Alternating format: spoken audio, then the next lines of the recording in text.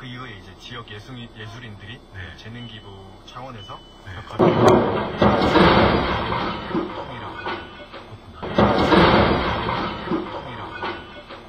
바꿨습니다. 네. 그 이후에 이제 지역 예술인